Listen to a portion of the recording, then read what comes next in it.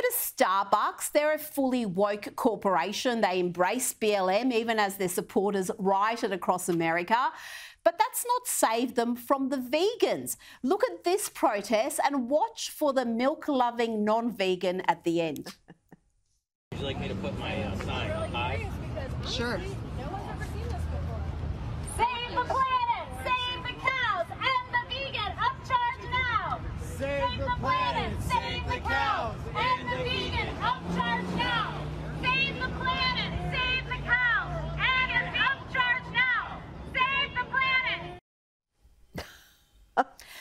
And uh, before I get your commentary, who could forget earlier this year when actor James Cromwell, you'll remember him from the movie Babe, he also protested at a Starbucks, superglued himself to a Starbucks counter in New York to protest the uh, coffee chain's surcharge for non dairy milk?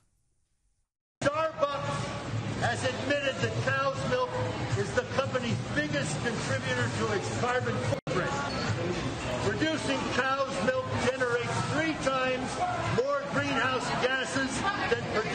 vegan options. When will you stop charging us more for vegan milk?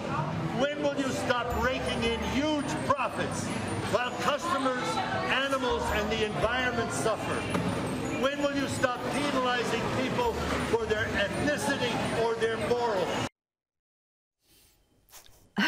Do you feel a little bit sorry for Starbucks? Or, you know what, do they deserve this? After all, they got involved in the political activism and uh, they're getting some of the, uh, their own medicine back. Well, I think so. You know, I think all these corporations that are going woke, you know, deserve to go broke because we've seen time and time again the ludicrous nature of this. And when you've got, I wonder if this guy, you know, when they un unglued his fingers, did they unhinge his mind? Or maybe it was already there. But, and these fanatical vegans who are, you know, the poor cows. I mean, what do the cows ever do to anyone? You know, and and I just feel it's really sad that we're going this way. This whole generation of of fanatical, insane people who are so obsessed. Look, if you want to go vegan, go soy, go whatever, you know, do it. Just don't condemn the rest of us who want to just eat and i'm going to say it normally. I mean we just we just don't need to be lectured to